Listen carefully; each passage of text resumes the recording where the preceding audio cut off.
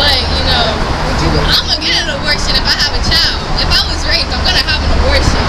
when you look at this child, does that look like the mother's body?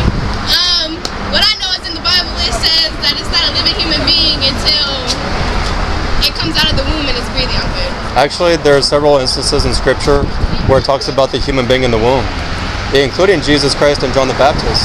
Yes, but No. it says until it is breathing, it is not living. Can you show me where it says that? true. Okay.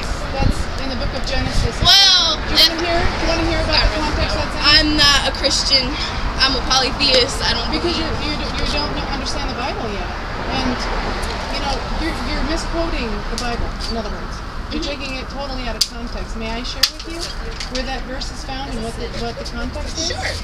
Oh okay, so it is pertaining to the creation of Adam, and God created Adam as a fully mature human being. Mm-hmm. And so for Adam, he created the body, and then when he put his breath in Adam, that's when Adam began to live. But that is in no means uh, a uh, prescription or a, Hey, bro! that's not in no means the instruction of the Lord as to when life begins for us to walk conceived in our mother's womb. Can I ask a question? Why did you decide to stand in front of a, a high school with this? Because one reason, because I wish Christians had done had done this for me when I was in your shoes in high school. Because I, I I used to go to high school, public school system. Mm-hmm. I wish Christians had done this exact same thing for me when I was in high school that we're doing for you. So personally, you have to realize that some people don't want their children exposed to that, and you're exposing people's children that you don't know to this. I, I wish Christians had shown me these images when I was in your shoes, literally. Yeah, but there's that go here that are fresh out of elementary school, middle school, that don't need to see that. Well, we, Do you they need to see it because. Go ahead. I'm sorry. Do you think that they shouldn't see images of the Holocaust? I mean, of course, that's learning about history, but that's Why why is that different than this?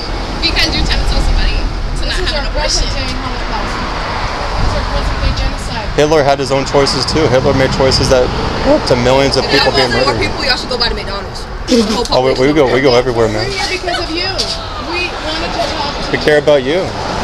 This, this what you see on the sign. This literally happened to children a few miles down the road. I just came from there, an abortion mill, where I saw parents lining up to murder their babies. They walked in one after another to murder their children. This happened today, just before I came here.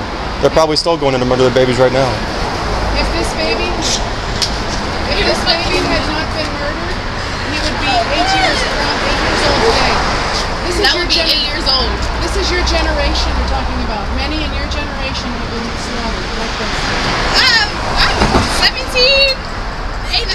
was not close at all. Oh, many uh, age would be age 17 had they not been murdered.